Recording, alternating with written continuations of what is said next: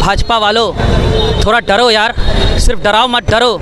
देश की बेटियाँ जब रोती है, देश की बेटियों का जब आँसू बहता है तो उसके बहुत दुष्परिणाम निकलते हैं। और आने वाले समय में तुम्हें दिखेगा, उनका श्राप लगेगा तुम्हें। और तुम्हारे पास कितनी भी शक्ति हो, सामर्थ्य हो, पैसा हो, उद्योगपतियों का पैसा हो, क्या होगा यार? जब प्रकृति अपना न्याय खोजेगी तो क्या होगा? इस पर सोचो तुम लोग। देश की बेटियों का रोना बहुत बड़ा अपशगुन है। इस पर तुम लोग विचार करो यारो, भाजपा वालों।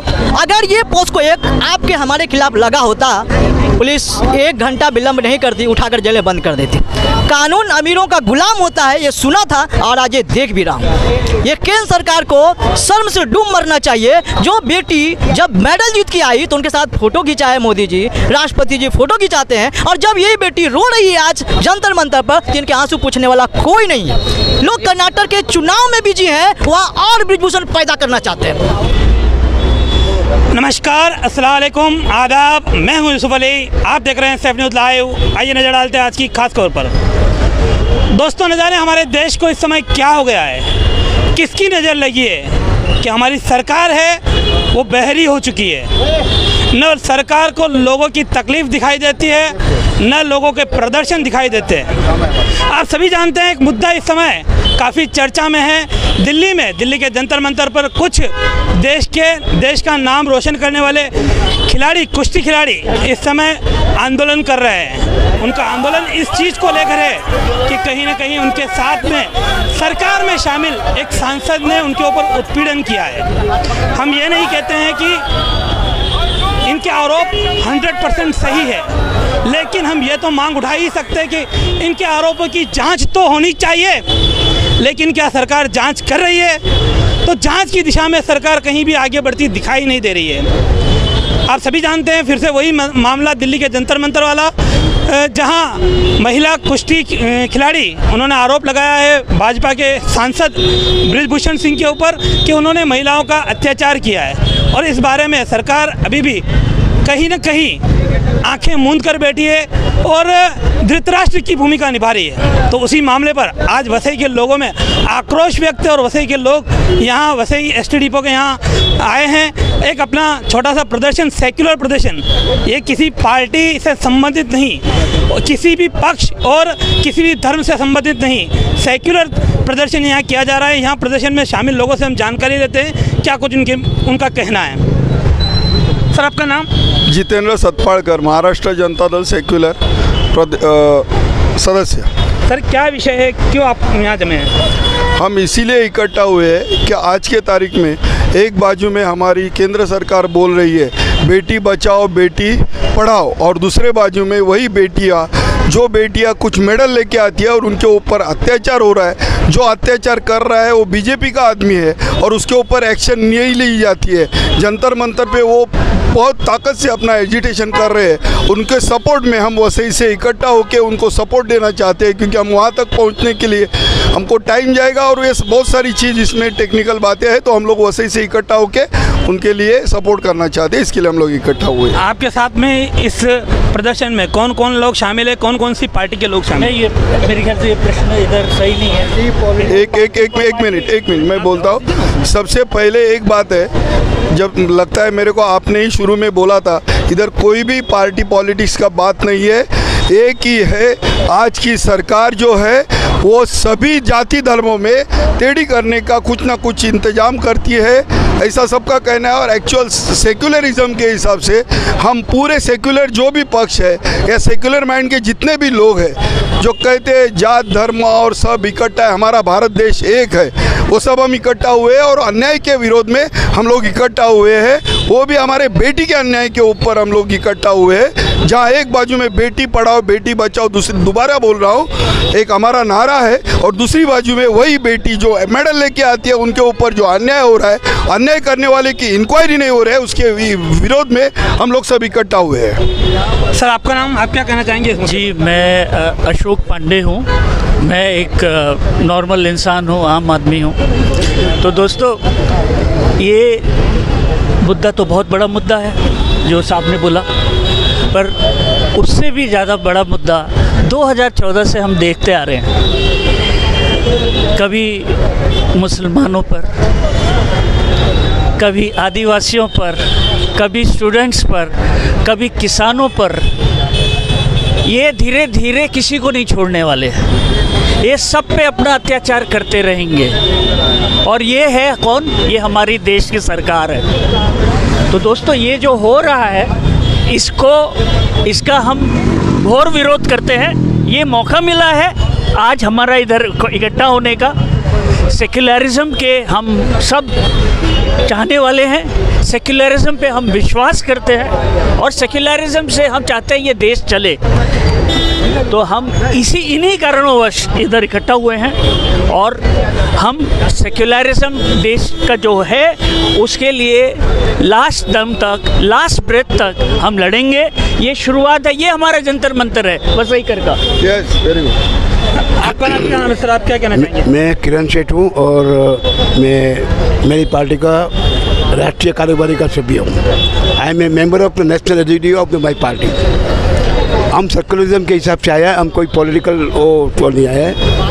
हम सभी सर्कुलरिज्म मानने वाला यहाँ जमा हुआ है। और आज जो बेटी बचाओ, वो बचाओ तो बचाओ का जो नारा देता है, और जो जंतर मंदिर पर जो आज आंदोलन हो रहा है, उनके सपोर्ट में, उनके साथ देने के लिए हम यहाँ खड़े हैं। और हम आगे भी यही करते रहेंगे, शायद जंतर मंदिर जाएँगे, नहीं जाएँगे, वो बात बहुत दूर अलग है। मगर हम ज़रूर हमारे नेता को अवगत करेंगे और पार्लियामेंट में सवाल हम उठाएँगे।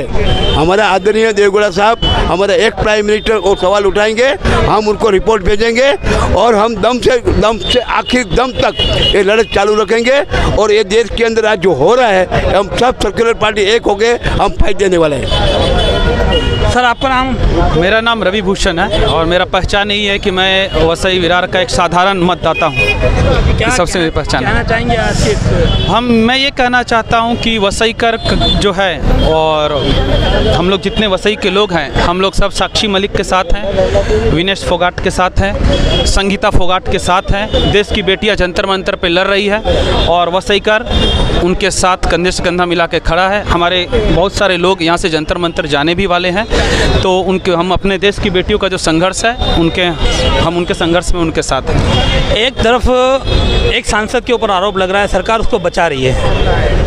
कहीं ना कहीं अगर सरकार उनके खिलाफ कार्रवाई करती है तो सरकार भी सवालों के घेरे में आती है। यह मामला तो है ही है, लेकिन दूसरी तरफ़, जो लोग जंतर मंतर पर इस समय आंदोलन कर रहे हैं, उनके खिलाफ बर्बरता की जा रही पुलिस के द्वारा, ये कहाँ तक सही है? देखिए, क्या है, शक्ति मिलने के बाद जो इंसान भी पागल हो जाता है, और शक्ति मिलने के बाद कुछ राजनीतिक दल भी है, वो पागलों की तरह व्यवहार करने लगते हैं, और शक्ति मिलने के बाद कोई खास सिस्टम है, वो भी पागलों की तरह व्यवहार करने लगता है। इसका साक्षात प्रमाण ये दिया जा रहा है कि गांधीवादी और गांधीवाद को विश्वास करने वाले हमारे पहलवान राष्ट्र, देश के राष्ट्रीय धरोहर हैं। उन्होंने मेडल जीता है। शांतिपूर्ण ढंग से जब वहाँ पे कर रहे हैं आंदोलन तो रात में आप पुलिस को बुलवा के और बर्बरता करते हैं। महिलाओं को इधर उधर धक्का धुक्की करते हैं। इससे पता चल जाता है, आज की जो केंद्र सरकार है एक्सपोज हो जाती है कि भाजपा का क्या चरित्र है, सबको पता चल जाता है। इसे किसी को दूसरे को बोलने की ज़रूरत नहीं है।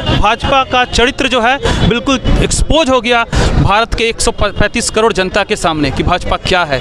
अरे आप सर, भारत की राजधानी में देश की बेटियाँ सुरक्षित नहीं आप क्या बेटी बचाओ, बेटी पढ़ाओ का नारा देते हैं? आप ड्रामा करते हो, आप नौटंकी करते हैं। एक्सपोज हो चुके हैं मोदी जी, इसमें कुछ शक नहीं है। सर आपका नाम? मेरा नाम सुमित्रा नंदन है। क्या कहना चाहेंगे? आ, मैं कहना ये चाहूँगा कि ये जो बेटियाँ हैं ये हरियाणा प्रदेश से आती हैं। इन लोग ने मैं टीवी न्यूज़ में देखा था इन्होंने हरियाणा के मुख्यमंत्री को आ, संदेश दिया था कि आप इस पर संज्ञान लें। लेकिन आज ही मेरी हरियाणा के एक महिला मित्र से बात हुई। उन्होंने बोला कि ब्रिजभूषण तो एक झांकी है, पूरा बीजेपी बाकी है। ये ब्रिजभूषण एक नहीं है बीजेपी में, सैकड़ों हैं। खुद हरियाणा के एक मंत्री भी इसी केस में फंसे हुए हैं और डिमांड किया गया, लेकिन हरियाणा के मुख्यमंत्री ने कोई कार्रवाई नहीं की। मतलब आपका ये सीधा आरोप है कि ब्रिजभूषण जी एक मोहरा मात्र है और उनके पर्द पीछे पर्दे के पीछे बड़े बड़े लोग शामिल हैं। बड़े बड़े लोग तो शामिल हैं लेकिन ब्रिजभूषण सिर्फ़ अकेले नहीं है। और भी लोग हैं जो ऐसे केस में फंसे हुए हैं। इसी तरीके से फंसे हुए हैं। लेकिन केंद्र सरकार कोई कार्रवाई अपने लोगों के खिलाफ खिलाफ करती नहीं। आपको क्या लगता है आपका जो मोर्चा है इसका क्या परिणाम आएगा? इस मोर्चे का परिणाम ये है कि हम लोगों को जागरूक करेंगे। और मैं खुद यहाँ से वसी का प्रतिनिधित्व करने के लिए दिल्ली जा रहा हूँ। जंतर मंतर में खिलाड़ियों से मिलूँगा और ज़रूरत पड़ी तो अनशन से ऊपर उठकर हड़ताल से आमर अनशन भी करूँगा और केंद्र सरकार से यही डिमांड करूँगा कि ब्रिजभूषण पे कार्रवाई कितने दिन में होगी, ये डेडलाइन क्या है मुझे बता दीजिए। अगर ये पोस्को एक आपके हमारे खिलाफ लगा होता पुलिस एक घंटा विलम्ब नहीं करती, उठाकर जेलें बंद कर देती। कानून अमीरों का गुलाम होता है, ये सुना था, और आज ये देख भी रहा हूँ। ये केंद्र सरकार को शर्म से डूब मरना चाहिए। जो बेटी जब मेडल जीत के आई तो उनके साथ फ़ोटो खिंचाए मोदी जी, राष्ट्रपति जी फ़ोटो खिंचाते हैं, और जब यही बेटी रो रही है आज, जंतर मंतर पर तो इनके आँसू पूछने वाला कोई नहीं है। लोग कर्नाटक के चुनाव में बिज़ी हैं, वहाँ और ब्रिजभूषण पैदा करना चाहते हैं। यही मेरा काम एक मुद्दा इसमें और जोड़ना चाहूँगा कि भाजपा वालों, थोड़ा डरो यार, सिर्फ़ डराओ मत, डरो। देश की बेटियाँ जब रोती है, देश की बेटियों का जब आँसू बहता है तो उसके बहुत दुष्परिणाम निकलते हैं। और आने वाले समय में तुम्हें दिखेगा, उनका श्राप लगेगा तुम्हें। और तुम्हारे पास कितनी भी शक्ति हो, सामर्थ्य हो, पैसा हो, उद्योगपतियों का पैसा हो क्या होगा यार? जब प्रकृति अपना न्याय खोजेगी तो क्या होगा? इस पर सोचो तुम लोग। देश की बेटियों का रोना बहुत बड़ा अपशगुन है। इस पर तुम लोग विचार करो यारो, भाजपा वालों। एक और चीज़ है शैफ भाई, कि आप देखेंगे कि हमने एक सेकुलर महामोर्चा का एक शुरुआत की है। ये इस करना बहुत ज़रूरी हो गया था, ज़रूरी इसलिए हो गया था शैफ भाई, क्योंकि हर धर्म में, हर जाति में कट्टर लोग भी हैं और सेकुलर विचारधारा के लोग भी हैं। हम सारे सेकुलर विचारधारा के लोगों को एक मंच पे लाना चाहते हैं। और भाजपा का जो एक बहुत बड़ा लॉन्ग टर्म है और इनसे भाजपा के समर्थकों से जब आप बात कीजिएगा तो साफ़ बोलेंगे सेकुलरिज्म क्यों रहना चाहिए सेकुलरिज्म क्यों रहना चाहिए? आपके ऊपर भड़क जाते हैं दिन धारे, इतनी इनकी हिम्मत बढ़ चुकी है। तो हम भी एक मोर्चा खोल रहे हैं कि भारत के संविधान में सेकुलरिज्म रहेगा और रहना ही चाहिए। इसकी एक लड़ाई आज हम शुरुआत कर रहे हैं। तो आप देख सकते हैं यहाँ निश्चित ही संख्या में लोग कम है, लेकिन इनके इरादे हज़ारों बल्कि लाखों लोगों से कहीं बड़े हैं। यहाँ अभी हमसे बात करते हुए अलग अलग वक्ताओं ने अलग अलग बात कही। कुछ लोग जो खास प्रधानमंत्री का एक नारा था, बेटी बचाओ, बेटी पढ़ाओ, उसका क्या हुआ? उसकी दुहाई दे रहे हैं। तो कुछ लोग कुछ यहाँ किन्होंने ये बताया कि इसमें कहीं और लोग शामिल हैं। यानी कि कहीं ना कहीं ये काफ़ी एक बड़ा मामला आगे जाकर बन सकता है और शायद केंद्र सरकार उसी लिए घबरा रही है कि कहीं हमारे गले की हड्डी न बन जाए। तो अब देखा जाएगा कि आने वाले समय में इस मामले पर होता क्या है। लेकिन हाँ इतना ज़रूर है कि लोग जो है आज सड़कों पर उतर चुके हैं और यहाँ से भी अभी एक भाई साहब ने ऐलान किया कि वो खुद दिल्ली जंतर मंतर जाएँगे और इन लोगों को इन लोगों की हौसला अफजाई करेंगे, इनके साथ वहाँ प्रदर्शन में शामिल होंगे। अगर देश के एक एक कोने से, इस तरह से गिने चुने लोग भी अगर इन लोगों का हौसला अफजाई करने पहुँचते हैं तो आगे जाकर क्या परिणाम हो सकते हैं, इसकी कल्पना सिर्फ़ हम अभी कर सकते हैं। आने वाले समय में ही उसके परिणाम हमको देखने को मिलेंगे। आज के लिए, अभी के लिए इतना ही। वसई से यूसुफ अली। हमारे चैनल सेफ़ न्यूज़ लाइव पे अपने व्यापार एवं सेवा से संबंधित विज्ञापन हेतु mobile number seven three eight five nine five two seven eight six अथवा seven seven three eight two six seven seven eight